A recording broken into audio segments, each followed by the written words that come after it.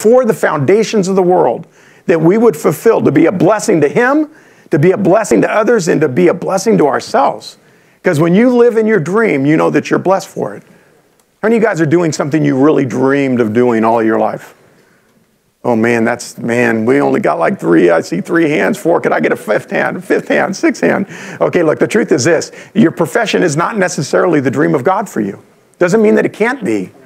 But most often, what I've found is it's the thing that gives you life, that gives you hope, this sense of purpose and belonging, that, that your life is actually bigger than you. Does this make sense at all, church? That's what this series is about. So, listen, God works in dreams, He works through hope. Hope and dreams are kind of like reciprocal. They're kind of weird because if you have a dream, then you hope that it'll happen. If you have hope, then you dream that it'll happen. They kind of go together. You know, the Bible actually says this. It says this. It says that hope deferred makes the heart sick. You guys ever really wanted something to happen? Come on, help me out. You guys are pathetic this morning. You're like, I'm still in the Holy Spirit land, Pastor. I don't want to talk. You got to talk to me. I got to know you're in the room. You ever really wanted something to happen yes. and had to wait? Uh, isn't it? Uh, isn't it horrible? Yes. It, it's terrible. Like you're like inside. You're like, please, God, could you release this thing? I feel that way as a pastor, by the way. I love what God does through our church, but there's a longing, a hunger in me to see the next season released. And, I, it's just like, and every week that goes by that I don't see inklings of it, like really, I, I just kind of like, God, when is it going to happen? But God said, hope deferred will make the heart sick. But watch, a longing fulfilled is the tree of life. You ever had any of your dreams met? And doesn't it just feel like, don't you just want to do that like Toyota dance where you jump, you know, that thing? Yeah, don't you want to do that? Because there's something about realizing God weaving into your experience that is amazingly powerful. See, God wired us to dream. He created dreams as part of the human existence because He wants us to believe in Him. He wants us to hope, to wait with confident expectation that God will do something great. So I want to give you a couple principles. I'm going to be all over my notes because we are, don't have a lot of time, but I'm going to do my best to not keep you here till one o'clock. No, I'm playing. I, I, I, that, that's really late. Expectations, expectancy, okay? Expectations. It, like hope means that you're expecting God to do something, work, act, to do something on your behalf. You guys with me? If you're hoping you want God to, okay, the answer is act. If you're hoping you want God to, that there we go. Wow, was, you guys are smart. That was really awesome. You want God to move. That's what hope is about. And God, as we see, when we live in expectation, this is what's going on. We're attaching ourselves to a God who's a God of promise. We're dreaming. You ever walk into something like I walk into, this is true, every Sunday morning, I walk in expecting people to encounter God. I do. And when it does, you can ask my staff, when it doesn't flow, we sit in staff meeting and go, what did we do wrong? What did we miss? What did I miss? What could we have done differently? What would have helped people experience God's love this morning? We do that every single week. We debrief what we did. How do we do excellence to honor God? Every week I come in with the hopeful expectation that God is going to meet with people. Now, expectancy is similar, but not the same. Expectation has an outcome. Expectancy says this I trust the nature of God, that He's good, that he's merciful, that he's gracious, that he's full of loving kindness and truth, and that he's for me and he's not what? Against me. See, that's what expectancy does. It keeps you in this place of believing and dreaming that God will do great things. See, when, when it's deferred, dragged out, our heart gets sick. It literally means this to be sick inwardly in your soul. You guys ever had to wait too long? Watch, watch. And your mind starts playing tricks on you? Man, God ain't never going to come out. I've been praying and praying, and I'm still waiting and waiting. He, and then you start to say this stuff to yourself He must not care about me. Oh, come on, am I talking to anybody? Doesn't, don't we do this? And then we start like, you get all poopy attitude, you start acting stupid. Don't we do this? Oh, come on. Yeah, okay, I do this. I'll just tell on myself. We do this when hope is deferred, when our heart gets sick. It literally means to be sick inwardly, to not have a sense that God is full of loving kindness, that He's for you and he's not against you. And, and this series is about trying to talk to you about releasing into the next season, not losing sight of what God has spoken into you. For some of you, you already have an idea of the dream. For others, you've never given yourself permission to dream. because you don't want to be disappointed. Am I talking to anybody right now? I don't want to dream. I had a dream when I was young, but I don't want to dream now because if I dream now, if nothing happens, then I can't get disappointed if I don't have any expectation of God at all. But I want to tell you that God is a dream giver. He wants us to do exceedingly abundantly beyond all we could ask or think in Him. He wants greatness for our lives. So, frustration. Anybody get frustrated in the room? Yeah. I'm, I'm look. I'm glad you guys said that. I'm not alone not alone because I get frustrated pretty easily, especially when it comes to things about dreams. So, you know, I have this idea that our church is supposed to expand. And I don't mean just numerically here, I, that we're supposed to do more, develop leaders, raise up other leaders. And, and Heather and I were talking about this this week. And, I, and so I asked her this question. By the way, you should ask this question of your spouse if you have a dream. This is important. I said, Do you think this is a good dream? And she said, I don't know. So, so I hit her. No, I'm, I didn't. I didn't. she goes, I, I don't know. And I said, yeah, but I think it would be a good thing to replicate. You know, I start to sell pitch to her. You know what I'm saying? She goes, she goes, well, I don't know. I mean, did, did God tell you or is it just something you want? And I went, oh man, that, like that's a rough question. You guys get what I'm saying? That's a rough question. And I said, well, I think it's something God wants. And she goes, but but every pastor kind of wants to replicate themselves. Doesn't every kind of like they want more of themselves out there? So so I hit her again. No, I'm. but she was asking really honest questions, real questions. Like if you want to dream for what God will do through your life, are you sure that it's not being driven by your own stuff? Your, your own need for notoriety, identity. And, and so it's kind of funny because last week after the service, um, one of you lovely folks left a note on my desk saying, well, maybe you're not supposed to plant more churches in the States because the States have plenty of churches. Maybe you're supposed to do it somewhere else. Hint, hint, like Guatemala. That's what they said. And I thought, I don't, I, I don't know. But it sent me to prayer. It sent me to say this I don't want to live in a sense of uh, an unrealized dream, like God spoke to do something bigger, greater, more, and not say, well, it doesn't fit my mold, God, so this can't really be your dream or that can't be where it's supposed to happen. Am I telling anybody anything right now? Like sometimes we have to be willing to embrace the dream and then let God shape it, let Him order it. Let him create the pathway. Because what's impossible for man is what with God? Possible. That's how it works. And when it's impossible with us, all things are possible for God. So I want to encourage you don't lose sight of what you dream. So watch, I, I, I got to talk to a few of you guys right now because I know this is going on. Because some of you in the room, you're given to prayer and you want to see more people healed. Okay, L- listen, okay, let it happen. Pray for them. Some of you are in the room, you want to see more people get saved. That's because you have an evangelistic heart. You want to, like, everybody should go to Jesus in heaven with me. This is great. Go do it. Because God will meet you where you dream to step out. But if you don't ever step out, you will always live in a dream without a reality. You'll always live in a notion without an outcome. See, it's why I'm always saying this get outside of the building. Come to ministry and gifts of the Holy Spirit class. You'll discover how God has gifted you, and you might find that what you're doing is not what you should be doing. And what you should be doing will be way more fun and a greater blessing. Now, I remember when Heather and I got married, there was this time where she said, Hey, let's go do missions for a little while. I remember I was like, uh-uh. I got to plant me a church. Got to plant me a church. Don't need no bugs and dirt. Don't want to do that mission stuff. You know what's funny is like now, if I could do that over again, I would probably say yes to it. Anybody ever looked backwards and thought I should have listened to her? Guys, I'm talking to you. I'm just playing a little bit, but not really. I'm saying that some of our dreams get realized when we take steps and risks when we let God, listen, let God shape the plan. He put the initial dream in you. Let Him shape it into what He intends it to be. And listen, be patient. Look at somebody say, Be patient. Be patient. Be, God's not done yet. Be patient. You never know what He's up to. Listen, I want to give some of you freedom to dream, permission to remember that God has not forgotten what He spoke into you or about you. Listen, some of you have received it by prophetic word. You got a verse while you're reading your Bible. You were out and about and somebody encouraged you. Don't lose sight of what God speaks. I want to give you permission. Dream. Dream big. Don't lose sight of it. God hasn't changed his mind. He doesn't want us to be living in pain, living with unrealized dreams. He wants us to go forward with him. So, the dreamer, man, how many of you guys know the story of Joseph? This is Genesis chapter 37. You guys can flip your Bibles open. Genesis chapter 37. We're going to look at Joseph. Now, Joseph is an interesting story because Joseph is the, the youngest of, or the second youngest, pardon me, of 12 sons. But at this point, he's the youngest of 11 sons. His littlest brother is not born yet.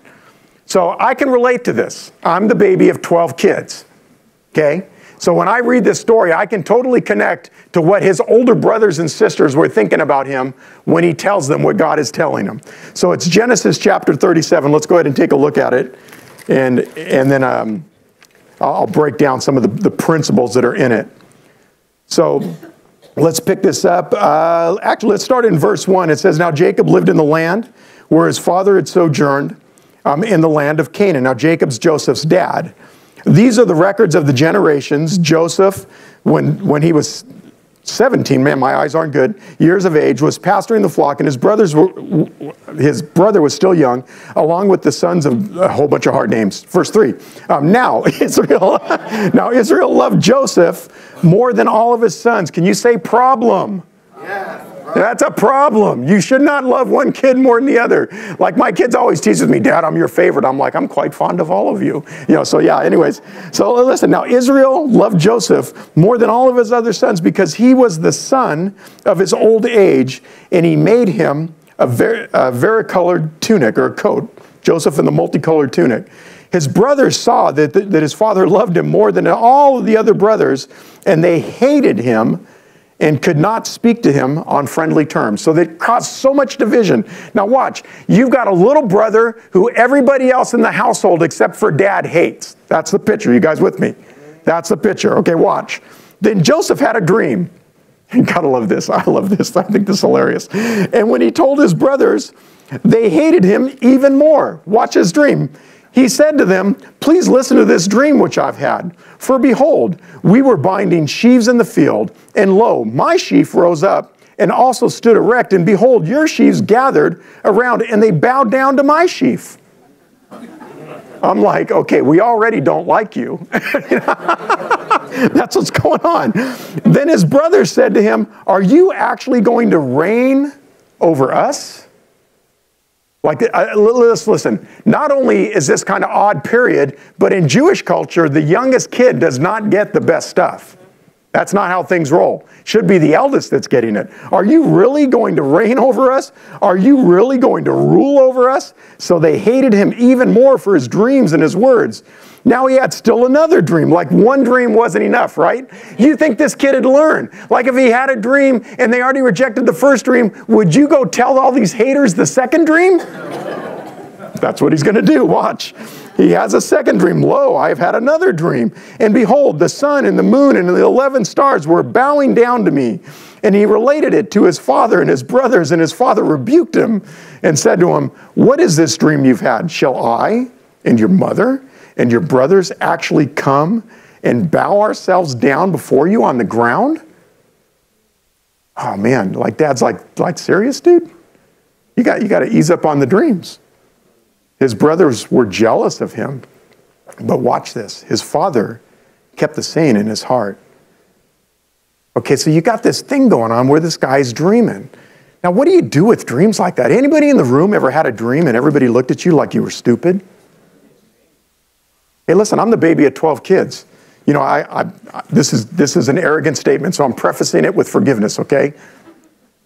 Come on, give me a little love right now. I pastor a church. I'm one of the last of the 12 siblings to get saved in my household. I think I was like number nine or 10. Everybody's a Christian now. Okay, so, so I'm like number nine or 10. I'm a pastor. My brother Steve leads worship here. My brother Paul has preached here. My brother or sister Angela and my sister Jojo who have done the women's stuff here.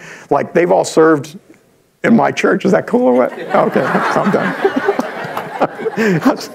I wish Steve was here for that. I wish he led worship this morning. Uh, no, no, listen, listen. Ideas are small. You have to put out action to your dreams. Ideas are small.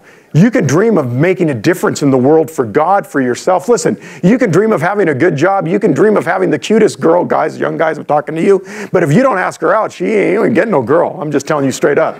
If you don't go apply for the job or get educated or do what you need to do, you are not going to reach your dreams. All dreams take what? Action, all of them, all of them. And the number one thing I see, number one thing I see is most of us fear taking action for this reason. What if I fail? Listen to me. Look at me. Everybody's eyes on me. You're going to fail. You're going to fail.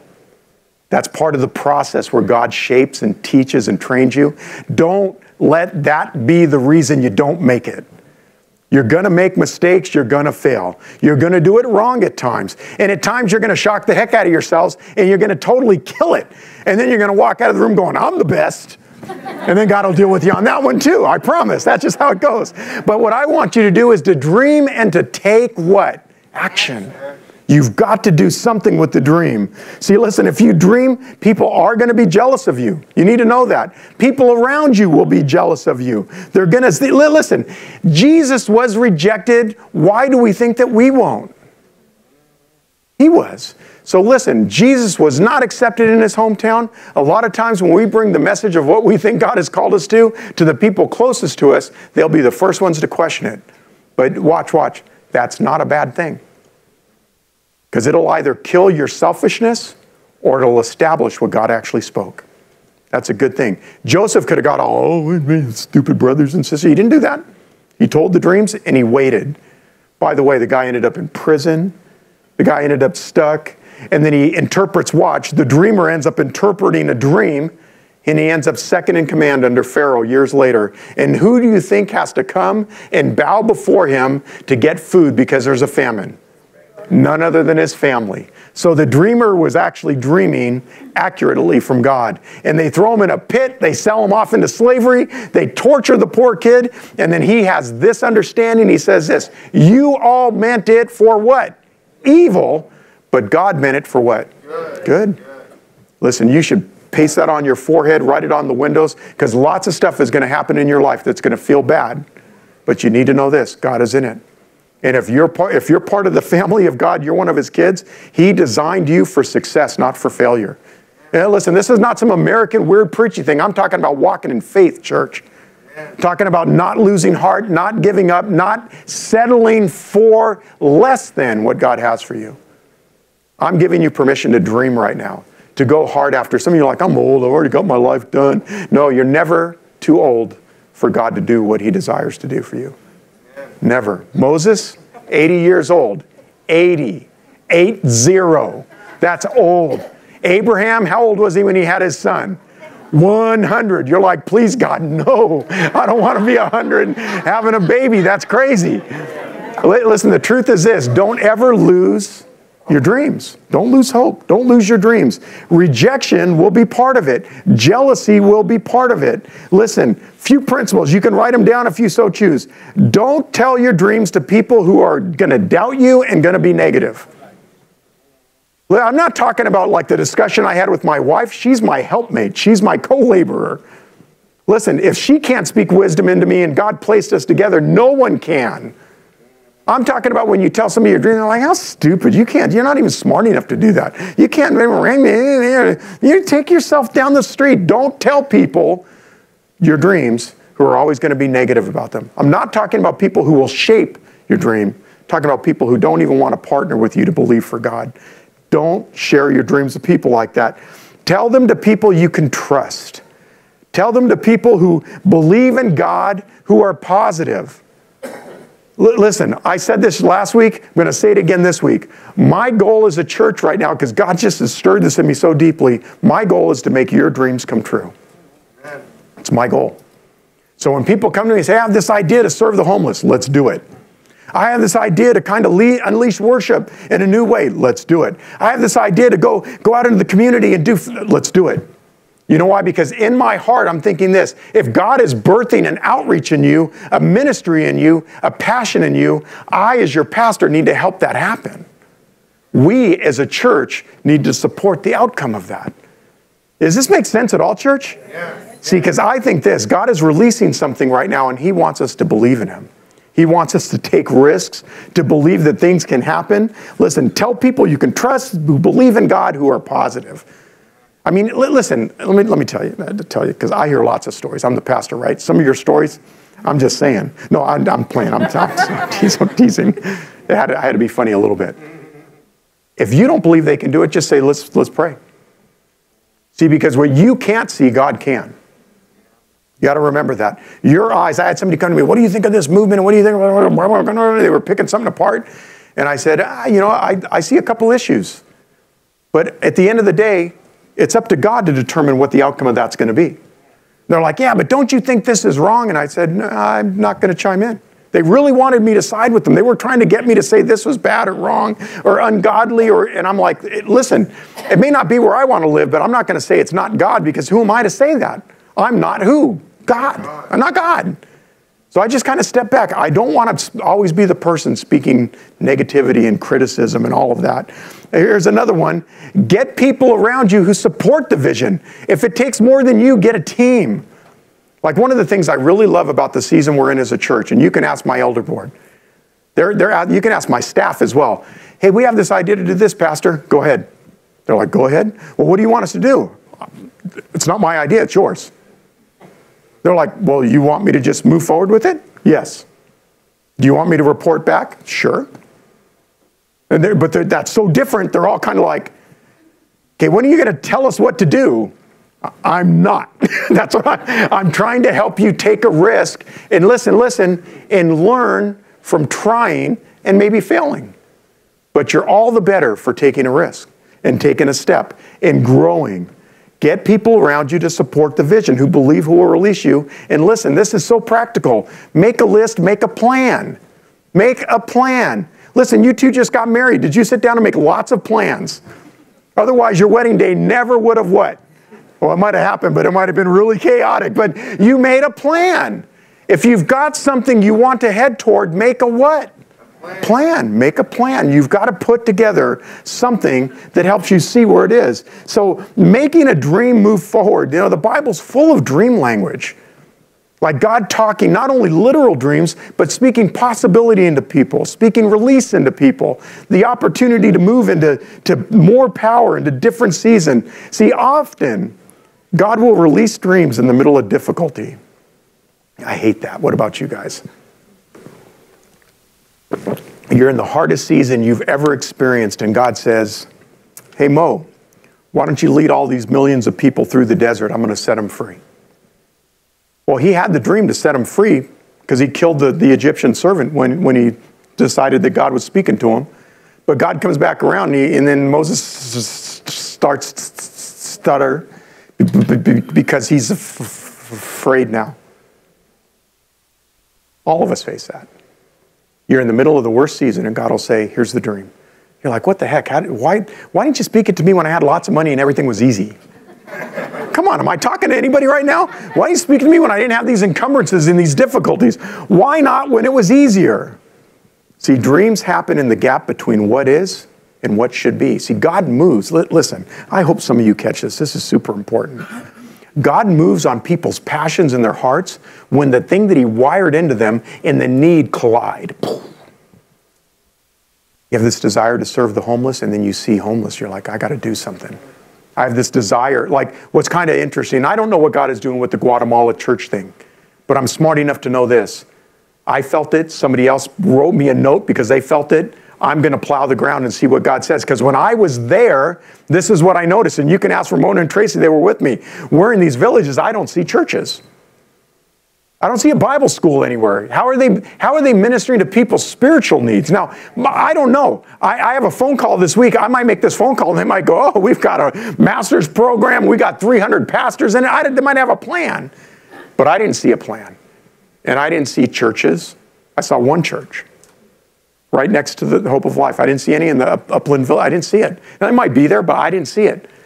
So I saw a need, like maybe there's something that connects the dream to expand the kingdom of God. And maybe it's not here. That's a tough one for me to swallow because my idea is building, got to get a building, got to get a bigger building, got to you know, got to got to finish, establish. And then we got to lead leaders and train leaders. Got to send them out. Who wants to go out? Anybody want to go out? Let's go out. That's what goes on inside. Like, let's go do this thing. And and I'm realizing something about the way that I'm wired is that I'm kind of stupid and crazy. Most people aren't. Most people aren't as risky. Most people aren't as daring. That's not a bad thing. I'm just saying, not everybody wants to roll the dice. Some of you do, though. Maybe go to Guatemala with me. Okay, let's keep going. You never know. But dreams happen in the gap between what is and what should be in your passion. The, those things collide. See, I, turn in your Bibles to Habakkuk, one of the minor prophets. Um, Habakkuk is a prophet. You guys are like, Hab what?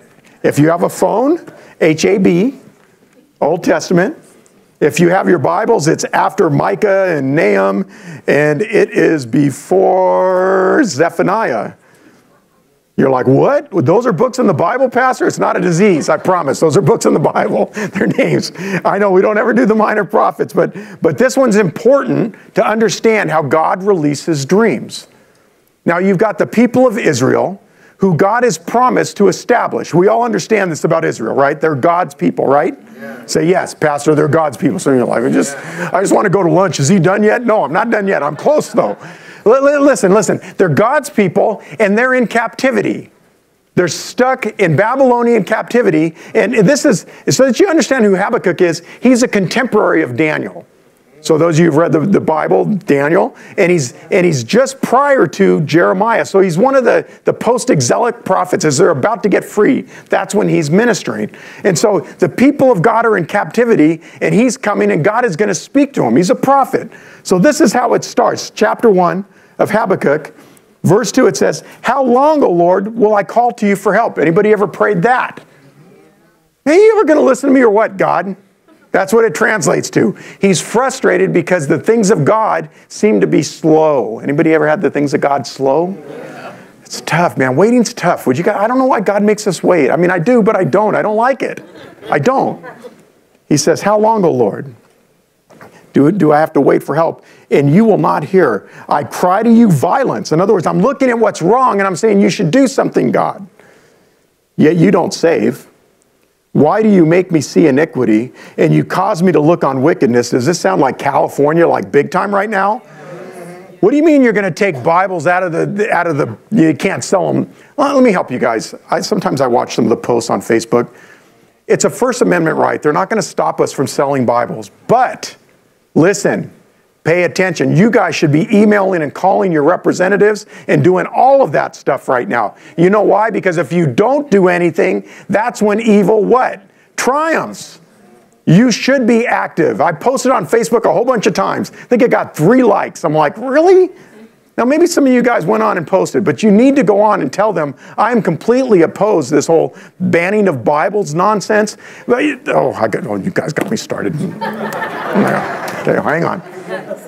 There is a movement in California right now, this is important for us, where we as Christians are not allowed to minister to people with issues of sexual orientation, nor, listen, gets worse, is the public sector, psychologists and so forth, allowed to minister to them or counsel them at any level. There's a move to get that passed right now in California. That means if somebody is struggling with identity, sexual orientation, we can't even talk about it.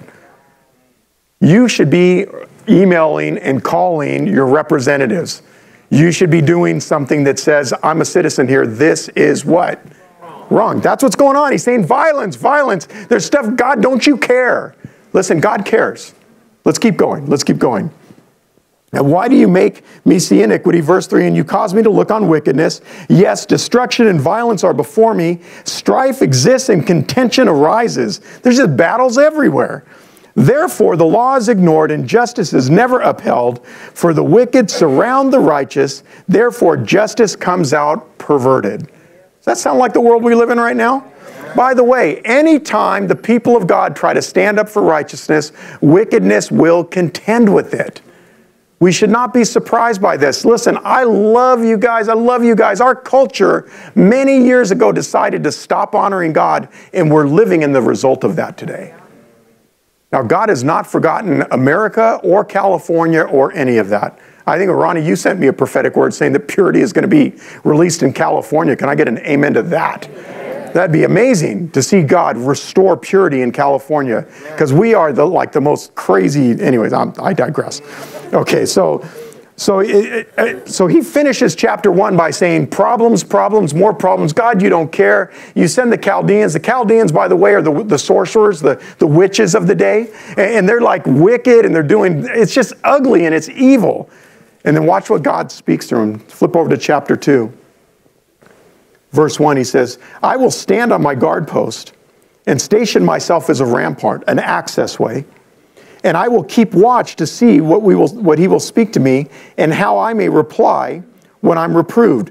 The Lord answered me and said this. So Habakkuk's going in the spot where God can speak, and God speaks. Listen to what God says. Very simple. The God who's the rescuer of Israel, the, the promise of the father of his people to lead them into a promised land, okay? You with me? You tracking? The Lord answered me and said, Record the vision, inscribe it on tablets, that the one who reads it may run. For the vision is yet for the appointed time, it hastens forward toward the goal, and it will not fail. Some of you are like, man, we're going to hell in a handbasket. No, we're not. See, we've believed all the narrative that we see on evil TV and media. We just, we buy it. Oh man, it's horrible. The sky is falling. Listen, there is a resurgence of God happening. Uh, listen, church, I hope you get this. Where sin abounds, grace what? Abounds all the more. So if we live in the worst or one of the worst states in the entire union, that means there's a more opportunity for the grace of God. So you guys should be excited. And you know how you guys look like this. That's how you guys look. I love y'all. I'm just playing with you. But you should be excited. If you live in wickedness, there's more opportunity for God. Yes, yes. There's more opportunity for Him. We should not shrink back because things are difficult. He says, record the vision, inscribe it on tablets, that the one who reads it may run. For the vision is yet for the appointed time. It hastens forward and it won't fail. Though it tarries, though there's time involved, wait for it, for it will certainly come. It will not fail. So, so listen, if God is saying this, that the way that I've wired the human existence is that I've set into motion what I desire to happen. What needs to happen is the people of faith need to walk with what God said to do. This makes sense. This is not rocket science. God said, go take the land. We should do what? Go take the land. God said, dream, go help the homeless. You should do what? Go, go help the worship. You should do worship. Pray. You should do pray. But you know, you know the Bible commands us to pray. You know the worst ministry in our church is prayer.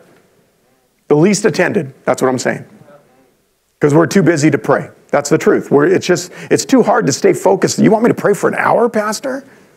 A whole hour? Like how do you stay focused praying for a whole hour? It's, it's actually not that hard when you start praying and when you get around people who do pray. Now, of course, I pitch all that, and there's no prayer this Tuesday because we're doing the Mother's Day D. But, anyways, following Tuesday, you all should come out for prayer. See, the people of God were in a difficult spot. God said this record the vision, write it down, make it easy for people to follow. You know, I, I did this, I, I assessed myself with what I'm reading right now. Goes on to say, you know, make it easy for them to follow. It will not fail. Wait for it. Be patient. It will certainly come. The righteous will live by faith. That's what it finishes with. And I looked at this and I said, record the vision. Okay, I've done that. I've done that. Write it down, sorta. Make it easy for people to follow. Uh oh. It won't fail. Well, how, how can they be successful if they don't even know where to go? Well, like I just started to look and say, God, how am I doing with this? And he said, You're not clear enough. People don't know what to do. Like if you watch, watch, I'll just ask you guys. You're new or newer to our church. You like Sundays. You're like, hey, this is a pretty cool place. I like it. What's the next step? Anybody know? Keep on going to church. I, I hope that's true. I, I, hope I'm funny enough to keep you in the building. Hope I teach the truth of God enough, but that's not the next step, though. Serve, get involved. You know, that's the good Christian answer, but no, that's actually not it. You should become part of the community. You should make a commitment to it. You're like, I don't want commitment to nothing. You're going to ask me for money. No, I'm not. I don't need your money, and neither does God. I ask you to make a commitment because I understand people are wired by God to live in covenant. And when we don't, we struggle. So I, the next step is this you should become part of this. Say, This is my church. Now I should start getting involved and serving and becoming part of the. I should be in a small group. I'm too busy for a small group, Pastor. I know. Go to a different one every week. I don't care. Just get some feeding. Go to the women's ministry. Go to something that helps you grow. But, Pastor, how do I do all this? Because you make it a pri. Thank you. Listen, you will grow with whatever you put energy into. Listen, if you put energy into eating, you'll grow. you know what I'm saying? You will. You put energy into working out, you'll grow, won't you? You'll grow. You put energy into your spiritual life, your spiritual man will what? Grow. grow. You'll grow. Whatever you put energy into. I, I love, I, I, mean, I want to get around this. I love this though. One, one guy said, Show me your checkbook and I'll show you what you value. Where you spend money is what you value. Where you put your time, show me your calendar, where you're putting energy, and I will show you what you value. Some of you are like, I'm too busy to value anything else. Then it's not a priority. I'm not being mean, I'm just being matter of fact. When we prioritize the things of God, our spiritual health, then we become healthier spiritually. Watch, and we make better decisions. Anybody ever made bad decisions because you didn't listen to God? Come on, all your hands can go up, you know. And then you stop and you ask God and He leads you. You're like, oh, that could have prevented all of that pain. Would have been so much easier had I just done it God's way to start with. I'm trying to encourage you do it God's way to start with. See, listen, we hope because we're loved by God. See, if we don't have the love of God, we are with, without any possibility in life at all. Romans says it this Romans 5 5 it says that hope does not disappoint because the love of God has been poured out within our hearts through the Holy Spirit who He has given us. See, it says this that His love is poured inside of us. We feel it, we feel the warmth of it. You know, one of the ways you feel the warmth of it, and I'm not trying to pitch small groups, I, I'm not. I'm trying to pitch connection. So hear me right now. This week, Steve taught in our small group, did a really good job. Did a really good job. And we were all together, and, and I ended up leading worship with Julia, which I haven't led worship in a very long time. And then Bella came home in time, and I go, Good, I don't have to do it. The girls can do it. And Bella goes, Daddy, can you do it? I, I like I led worship at school yesterday and I had a busy day today and I just getting home from my softball game. And so I said, Okay, well, will you sing with us? She goes, Oh yeah, I'll sing with you. I led worship. It was really cool. It was really cool to just do the connection time with the people in my group, to just ready our hearts before God to receive, and then to have Steve teach. And, and then the, the meeting ended. You know, the meeting ends. You people don't have homes. You don't know how to leave. I'm just saying. no, but seriously, the, the meeting ended, and I, I want to say we, we probably finished, I don't know, 9.30ish or something like that, 9.15, 9.30. I don't think anybody left till around 11. I'm like, I want to go to sleep. Get out of my house. No, I'm playing. I'm totally kidding. But, but it was this. We were in the other room, and I looked at Rob, and Steve was standing there, and I said this to both of them. I said, I said, what's happening in there is as deep spiritually as it gets. But if you went into the middle of the conversation, they were talking about puppy dogs and Mother's Day teas, and they're showing pictures, and I'm sure they were talking about things they don't want boys to hear because it's mostly the girls on that side. It, but they were just connecting. They were connecting. Some of you need to do what? You need to connect. You need people in your life. You need to be around the people of God. See, one of the ways we discover that this hope that doesn't disappoint is because God's love is shed abroad in our hearts. Watch. And it's shed abroad in our hearts through you and you and you, and because we're together caring about our journey as Christians, loving each other. Doesn't get more powerful than this. I know all of us, we make excuses. I get it. I'm busy too. Anybody not busy? Anybody not busy? If, if you're not busy, I want to hire you. No, I'm playing. I, no. Everybody's busy. Our schedules are full, our calendars are demanded of. But if we want to go, grow spiritually, we have to put energy into the things of God. You know, Kevin, are you in here? I want to invite you to come up. You know, I want to close, and I do want to give opportunity for some of you to get prayer. And as I was preparing this morning um, and kind of going through notes and praying and whatnot, I just kind of had a sense that God was saying, just like, don't make it crazy. Like sometimes, you know, come to the altar, you got to cry and make it a power. No, no, no. That's not what I sense. I just want to read psalm, a psalm over you and then give you some of you the opportunity to get prayer because I believe this principally that when we're talking about dreams, some of us have to take a step to reinvigorate, ignite what God has already said. Some of us have to dare, watch, listen, dare to dream again because you've experienced pain and people have done wrong things. You know, it could be spiritual leaders, it could be bosses, it could be husbands, wives, maybe your kids. People reject, and then we go inward to preserve ourselves so that we don't get hurt. And God doesn't want us to live like that. He wants us to dream. So I want to ask you to do this. I'm going to I'm going to read this over you, but I want to just bow your heads, close your eyes. I just want you to stay focused on God. I just want you to kind of listen and let him speak to you as I do this with you. Now this is Psalm 25. And I'm just going to read it and kind of explain as I go through it. He says, "To you, O Lord, I lift up my soul." Listen, some of you in the room right now, you've had a lot of life stuff happen to you and it's been difficult. Like you've had a hard time, you know, being risky or daring or, or believing that people or a person or a group won't just hurt you again. And I get it. We've all been there. We've all experienced different points of, of difficulty and pain. I understand. But what God does with that kind of stuff is He says, I, I want to invite you to put your soul in my hands. Watch, listen, because because God is trustworthy. That's why He's saying that. Because if He's asking for it, He can shape it in a way, the circumstances, in a way that will help you to move past the pain. And He says, Oh my God, in you I trust. He's making a declaration. He says, Don't let me be ashamed. See, some of you are right in that spot. I want to dream, but I don't want to fail, and I don't want people to mock or tease me if I do fail.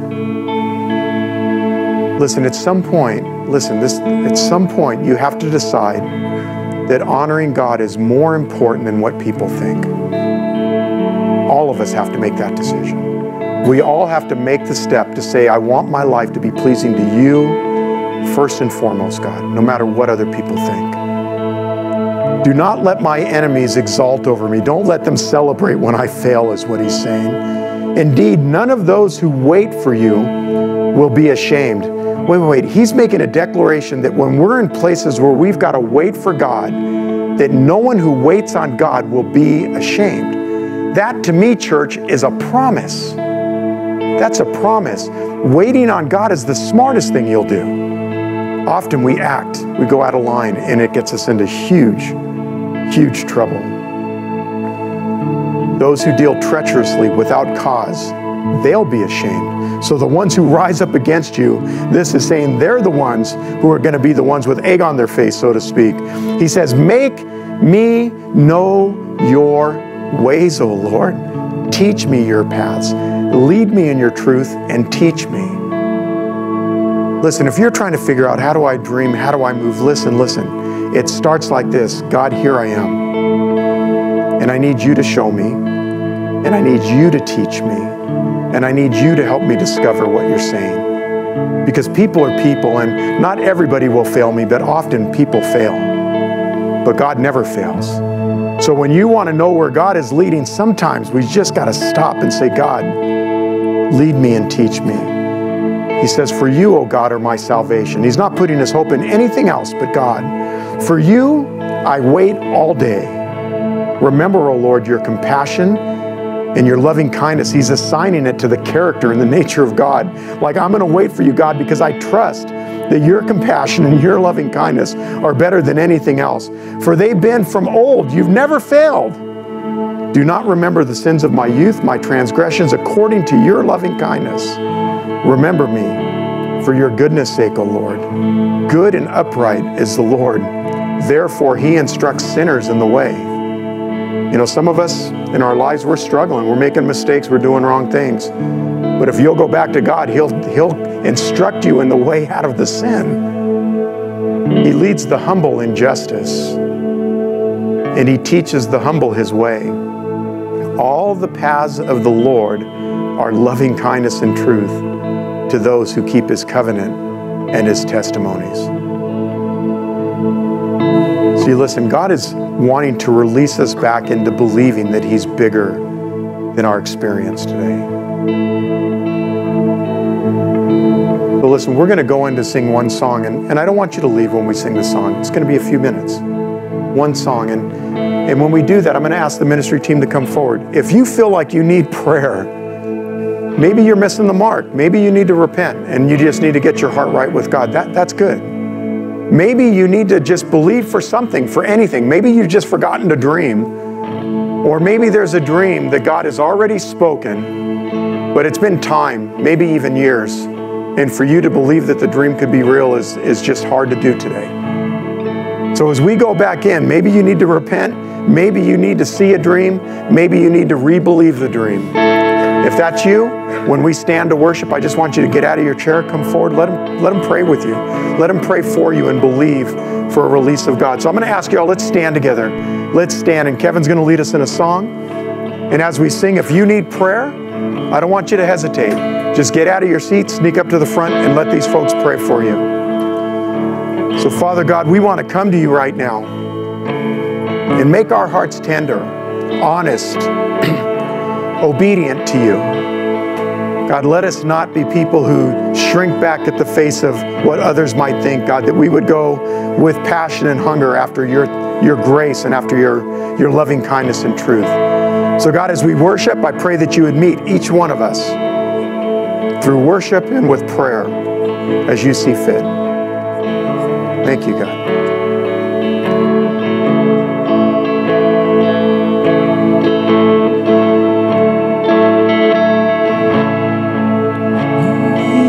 every song we could ever sing.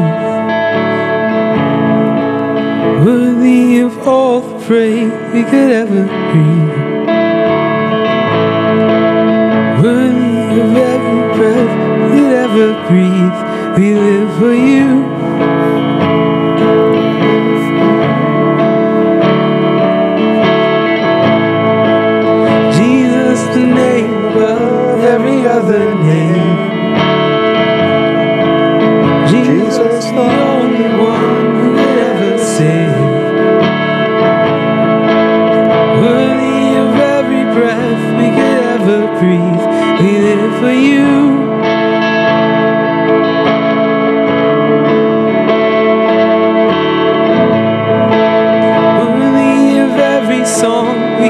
Ever sing. Worthy of all the praise we could ever breathe. Worthy of every breath we could ever breathe. We live for you.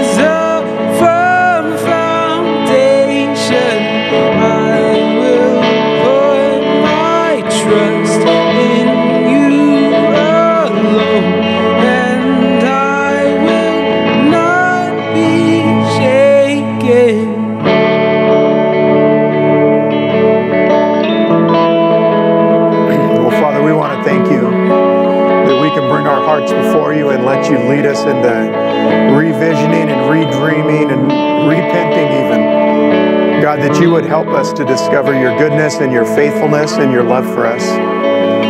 So, God, as we go, I pray, Holy Spirit, that you would release dreams this week, that things that have been forgotten or left behind or ignored, God, that you would rekindle them in us and create a new fire and passion in us. So, God, as we prepare to leave today, I pray that we would be leaving the building, we would not be leaving you behind.